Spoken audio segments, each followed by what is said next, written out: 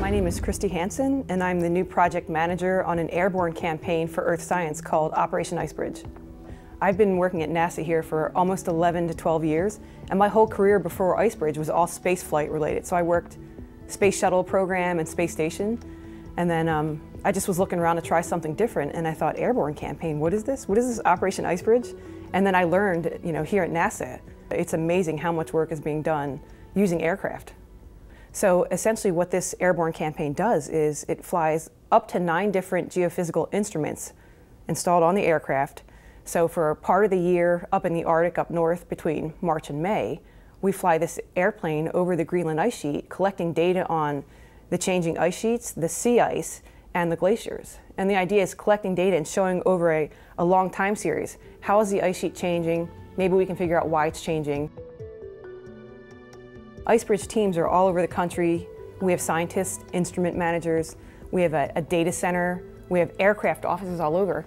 Um, so they really needed someone who could kind of bridge the gap between all those communities. So the work was getting done and, and, it's a hugely successful mission, but maybe I can help make things efficient and help with their documentation and things like that. Or So really each day, I just I stand back and I look, where can I help? Because these are super smart people. Where can I help and not get in the way?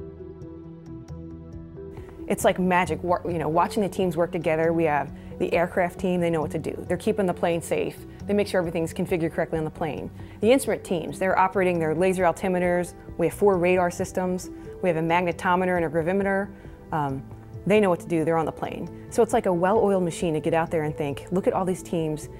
Are, how are they working? Are they working together well? Does anyone need anything?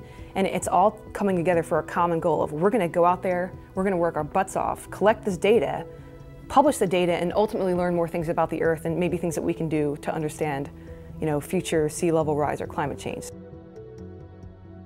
Yeah, so it's been pretty like a huge whirlwind because this is only my, my fifth month on the job and literally a month into it, I, I flew to Greenland and supported the mission there for three weeks.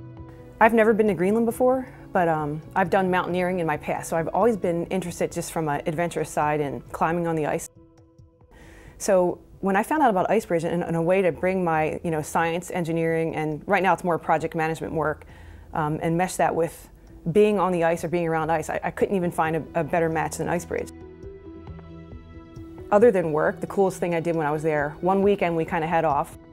It's not trivial getting out to the edge of the ice sheet, and then you get there and you see literally the edge of the Greenland ice sheet, which I had imagined being just like this flat natural curve down, but it was literally a huge ice wall. So um, they even warn you, don't step onto the, the ice sheet because ice could, huge pieces of ice could fall on your head. So anyway, we went there and I thought it would be cool to collect Greenland ice samples for my friends. So I had my mountaineering Nalgene bottles and a little knife and etched off some pieces of it um, and brought it back here to the US so I could give little Greenland ice sheet samples out to everybody. So that was a, a cool, a really cool day.